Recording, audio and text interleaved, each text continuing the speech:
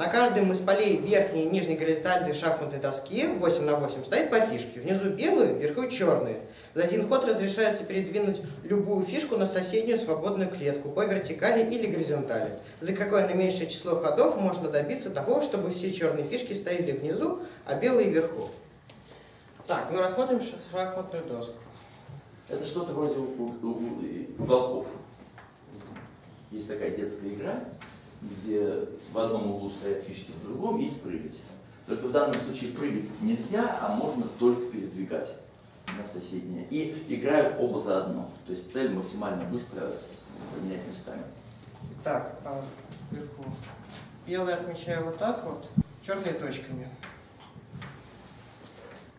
Тут, казалось бы, каждая должна сделать снизу 7 ходов вверх, а сверху 7 ходов вниз.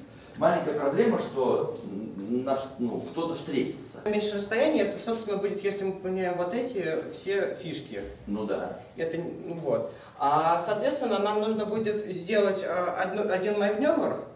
А, ну, мы будем рассматривать сначала не всю, не всю доску, а вот э, две друг напротив друга стоящие. Да. И, по сути, нам придется, э, чтобы пом- поменяться местами, одна фишка должна будет сделать маневр примерно такой. Ну, она выйдет, зайдет так вот, так вот и обязан так.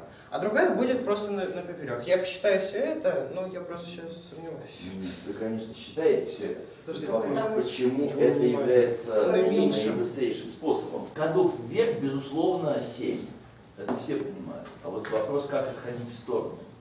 А ну, наверное, все равно надо будет хоть раз отойти в сторону и вернуться. Значит, хотя бы два хода нужно. Не, почему? Может не так пойдет. Если он будет что меняться именно как? с... Я Первый пойдет вторую. положка? Первый пойдет, э, первый пойдет на вторую верхнюю, первый нижний на вторую. Если они будут меняться, которые вот, вот, вот так вот. Да.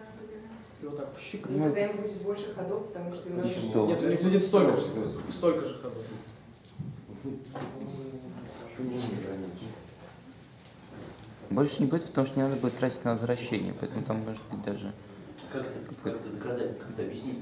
Давайте мы просто решим. Ну, давайте. То есть так у нас получается наименьшее число горизонтальных ходов. Мы хотим доказать, что это сколько? 16? Да. У нас эта фишка выйдет вот так. Дальше это путешествует вот так. А, Дальше вот это до конца. И вот это вот так. Ну. Две фишки немцев, Ну вот. Ну здесь то же самое дело, результате в сумме 8 горизонтальных ходов получается. Ну, не очень понял. Значит, э, А, не очень понял. И Еще раз э, о том, как они... Дело в том, что э, то, что 8 горизонтальных ходов нужно, это очевидно. Сейчас. Почему?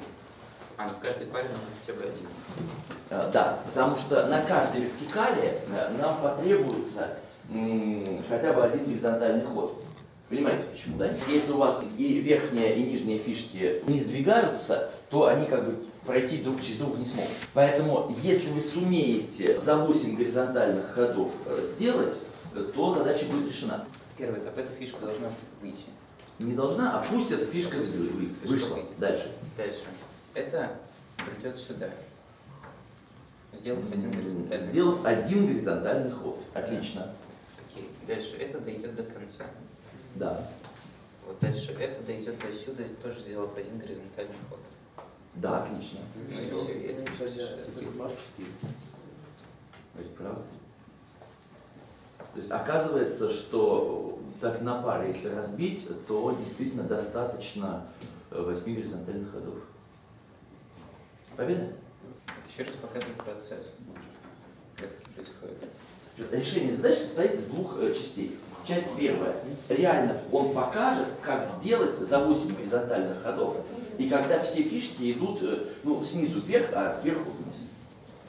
Другой, другая часть решения, другой этап, то, что нельзя меньше, чем 8 горизонтальных ходов. Так вот, то, что нельзя меньше, чем 8, это очевидно. Потому что у вас в каждой вертикали обязательно Хотя бы одна фишка должна сделать. Хотя бы одна из этих двух фишек должна сделать горизонтальный ход. Значит, осталось показать, как обойтись восемью горизонтальными ходами. Пожалуйста. Так, еще раз. Значит, сначала эта фишка должно ну, выйти там больше, чем на одну клетку, ну неважно куда. Вот. Двинулась вниз. Да, сдвинулась вот так вниз. Дальше. Эта фишка идет вот так доходит до сюда, сделав один горизонтальный ход. Вот. Дальше это у нас путешествует сюда.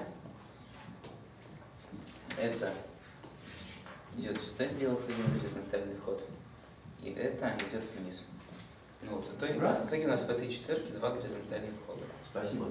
Ну и в остальных точно. Леша, огромное спасибо, потому что задача симпатичная. Там еще, кстати, есть Что? а, еще БР для 7 на 7. Да, и что там? А, ну, я не знаю, то есть там такой способ, по идее, не пройдет. Наверное, сегодня для трех надо придумать. В смысле? Ну, Там немножко сложнее. Да, просто на паре не разобьешь.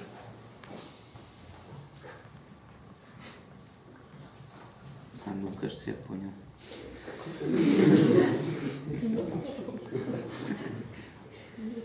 Ребята, это здорово. Это здорово, что вы молодые, умные, замечательные. Это совершенно замечательно. Почему мы не можем сделать так же, как в прошлой задаче, просто на последней полосе сделаем туда-сюда? Здесь 10 четыре, это будет называться 8 горизонтальных ходов. Да. А вот вопрос весь в том, что у нас, к сожалению, оценка снизу 7, а пример 8. То есть здесь такой вопрос. А можно обойтись семью горизонтальными ходами или нельзя? Раскрасим доску следующим образом вообще. А, Так, 7 на 7.